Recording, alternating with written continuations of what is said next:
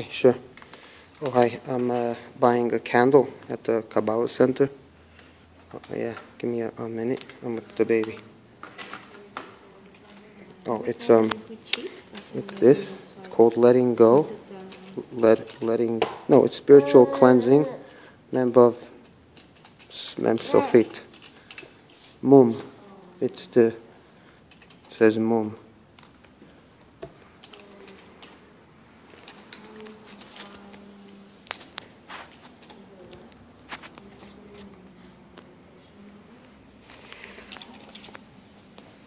I need to sign? Yes, please give oh, you. Okay, sure.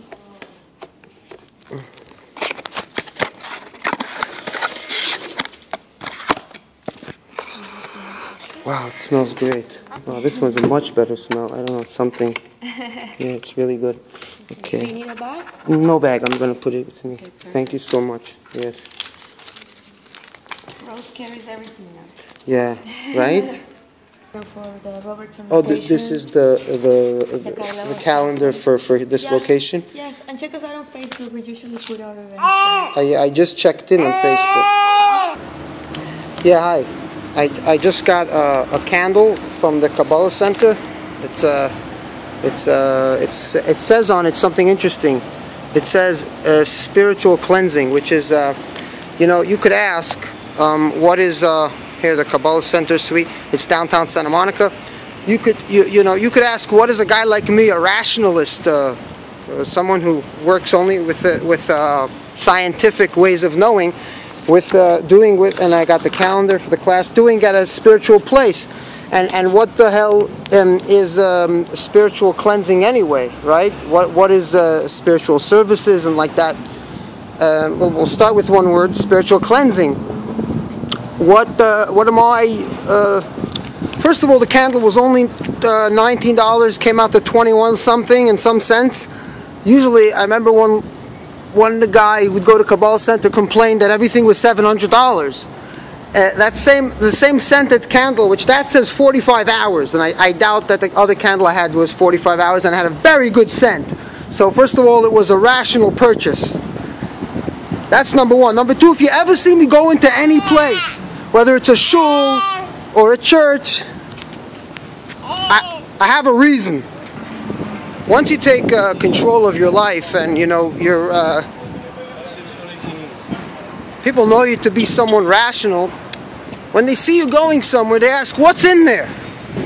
Maybe there's something interesting, even though the place doesn't look, you know, from the outside of it, looks like a place where people are looking to kill their time.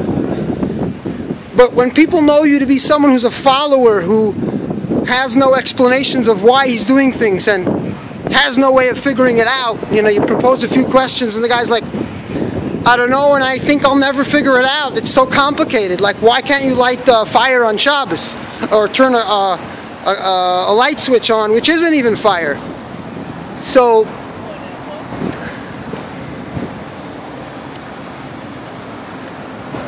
So anyway, it was a rational purchase, but it was also interesting. The soul, the spirit, what what was it? Spiritual cleansing.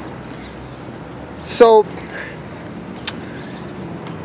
eh, I, I could laugh at them, but then I could I could remember that I was raised in the same type of tradition.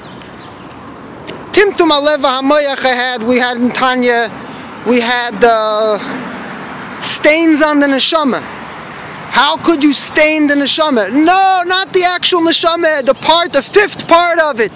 This five levels of the neshama was borrowed from an Egyptian uh, mystic. Dumped it into Tanya, wrapped it up.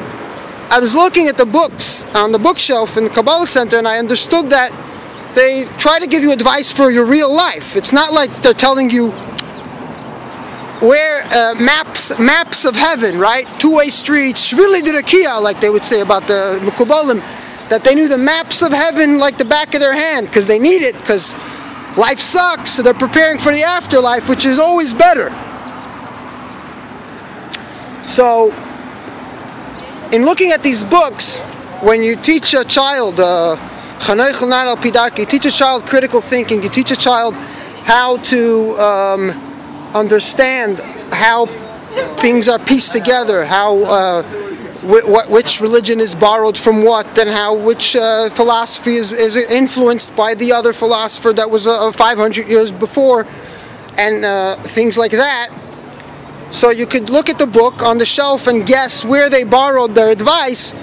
And by the end of the day, they market it like it's Kabbalah Center's advice or it's Rabbi Berg's genius ideas of spiritual rules of engagement, spiritual rules of, uh, in, of love and of compassion. The only the only thing that you need to know about spirituality is how to get around it when someone gets caught up with uh, negative energy or all these concepts that people usually use when they can't explain a certain feeling or they don't want to admit a certain habit. So it's very interesting to watch people buzz around like a fish in a fish tank running around trying to instead of understanding their place in this world, who they are and what they are, trying to feel their way around like you're in a dark room, the buckyball, you know. You're like you hear a clink and then you hear an, you hear a, a noise and you, you, you, you basically have to feel your way, which takes probably five times the amount of time than when you go Derech HaMelech, straight. You want to know philosophy? Go to the philosophy section. You want to know religion? Go to the religion section. You want to know theology? Theology is explaining the unknowable to the not worth knowing. So that's it. Um, that's enough for now. I, I had an interesting time uh, I'm going to read you guys off uh, in the next coming video how to join a cult. There are many good cults out there, very trendy. The people are very, uh, they dress nice and they hug you, and you make you make instant friends, right? You just have to shut up and follow. So I'm going to make a guide to how to survive joining a cult, which basically it's like telling you I'm going to give you a list of things never to do never question the authority, never ask where um, the the head, the, the guy got his wife from. Never ask where he was educated. Maybe he was educated in electrical engineering, and you're going to ask how does electrical engineering spin off into spiritual rules of engagement and other books like God Wears Lipstick and things like that. So Never ask uh, what do you plan to do with your life individually to the individual in the in the cult. Never say what do you want to do with your personal life. It's always about the group. Never, never, and never question. Um, always pretend you're you're understanding, but never ask basic questions like is the emperor wearing any clothes or or. Uh, how does he know that? By what method does he know it? Does he know it through prophecy? Um, does he know it through um, uh, science? Science is a method. It's the best method we have in this physical universe to, under- to know anything. Does he know it through uh, art, and do- or does he know it through philosophy? Never, never question. Always pretend that you got it, but uh, even when you d- and always pretend you're listening